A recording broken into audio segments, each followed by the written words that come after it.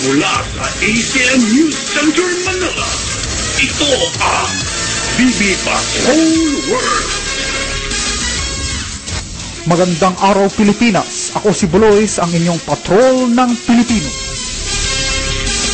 Sinalakay ng Philippine National Police ang isang tindahan ng airsoft guns at airsoft supplies sa Grace Park, Caloocan.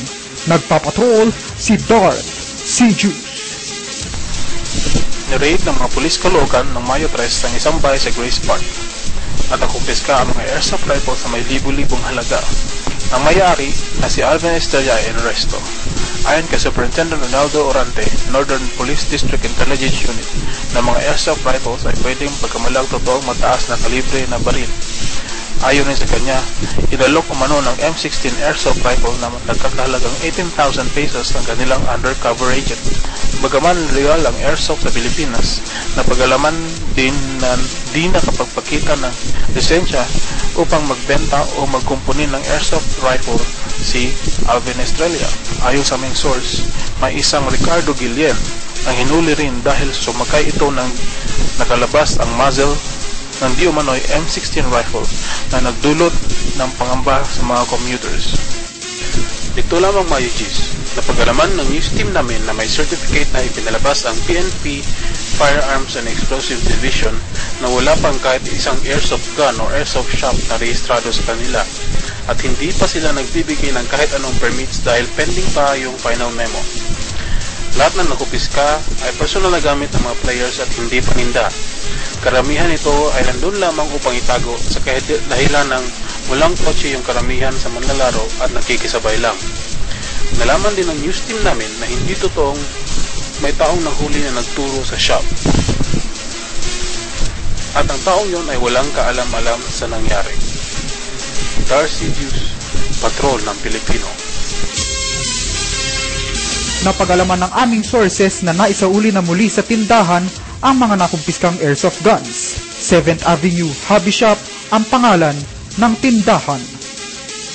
Samantala, isang lalaki ang natamaan ng bala sa mata ng isang high-velocity airsoft gun.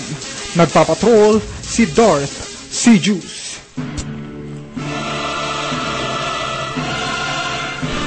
Matatandaang naiulat sa ACL forums na aksidenteng naganap sa Baghdad site sa Libis.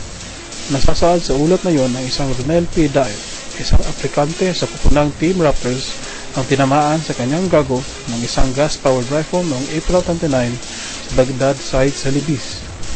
Di umano'y ang ginamit na BB ay may bigat na 0.43 grams na tumagos sa kanyang gago at bumaon sa kanyang mata.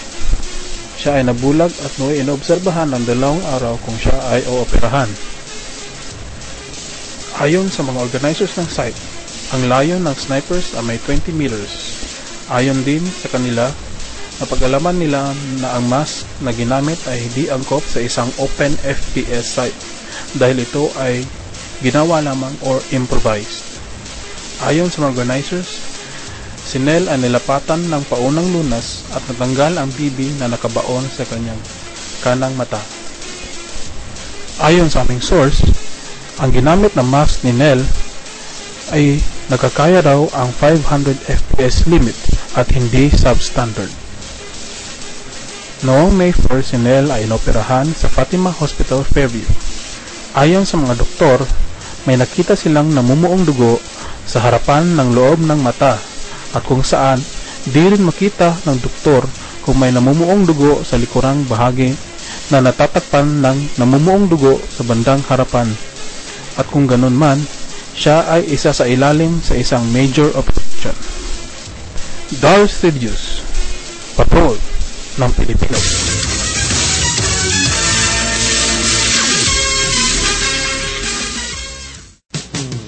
Itinatampok ng DBS Films ang hit na ako, Damian.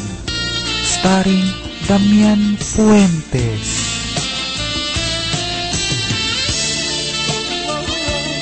Also starring ang may init na babae sa buhay ni Damian Fuentes. Malapit nyo nang mapanood sa inyong sinihan, promise. alamin natin ang balitang pandaigdig sa World Patrol. Nagpapatrol si Wellboy. Isang video ng Delta Operator ang nakuna ng ating news team habang ito ay nakikipagbakbakan sa isang CQB site. Siya na lang ang natira sa kanilang team at ngayon ay na-corner na siya ng mga kalaban. Ayan, kitang-kita nyo kung paano siya tinabagsak ng kanyang mga kalaban. Para sa BB Patrol World, Wellboy reporting. Killer Angel lumabas ang alindog sa mga letrato niya. Alamin ang detalye sa susunod na report. Naging mas mapanghas si Killer Angel sa kanyang mga mainit na pictorials. Sa mga kuhang ito, talagang makikita ninyo ang alindog ni Killer Angel. Dahil dito, siya ang napili ng sikat na sexy actor na si Damian Fuentes para maging kapareha sa kanyang mga upcoming movies. Ayon kay Damian, siya ay kasulukuyan na nakikipagnegosasyon sa manager ni Killer Angel.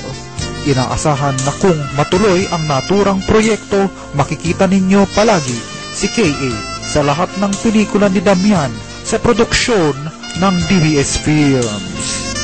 Ako si Bulois, Patrol ng Pilipino. FHM Girl Next Door finalist rumampa sa Paseo de Santa Rosa, suot lamang ang bikini. Naging maliit na pista ito sa mga lalaking nakasaksi. Nagpapatrol ang inyong lingkod.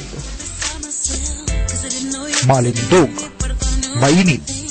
Yan ang saksihan ng mga kalalakihan noong nakaraang Mayo a 5 sa Paseo de Santa Rosa. Walong naggagandahan na FHM Girl Next Door finalist ang rumampa suot ang mga bikini sa FHM at San Miguel Beer Summer Fashion Show. Stars of the Night sina Araniza Castro at Joanna Waters na nakakuha ng maraming palakpak. Pinaunlakan kami ni Araniza Castro sa isang maiksing off-the-record interview. Sabi niya siya'y nalulugod sa response ng mga tao sa naganap na fashion show. Sa pagitan ng fashion show, may dalawang banda na tumugtog ng rock, R&B at reggae, ang Crosspath at Hardy Amis Band. Nakausap din ng ating news team ang band leader ng Hardy Amis at sila daw ay mapapanood every Friday and Saturday sa Lucia Comedy Bar sa Malate, Manila.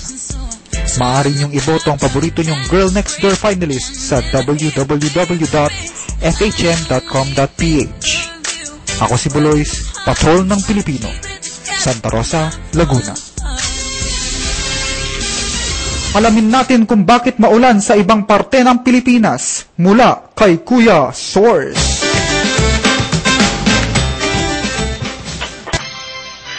Patapos na ang ating summer ngunit magiging maalinsangan pa rin sa umaga na may manakanakang pag-ulan, pagpulog at pagkidlat sa dapit hapon sa buong kapuluan. Ito ay dahil sa ating tinatawag na Intertropical Convergence Zone. Kaya payo ko sa mga pati nating air suffer, versus na ingatan sa ulan upang hindi matigil ang inyong bakbakan. Dumako naman tayo para sa ating ulat kaalaman.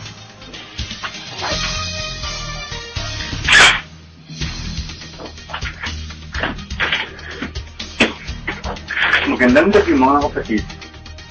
Mahigpit na pinagbabawal ng maraming veterano ang paggamit o ang pag-reuse ng BB. Ito ay maaaring makasira ng half-up rubbers pamamagitan ng mga dumi o dent. Kaya ating ugaliin, huwag mamulot ng BB upang hindi gumastos ng mas malaki. Umuli si Kuya Source nagsasabing, BB dito sa langit, ang tamaan ay hit, ang zombie ay lalong talo. At yan ang kabuuan ng aming malawak na pagpapatrol. Ako si Bulois, Patrol ng Pilipino. Saan man sa mundo.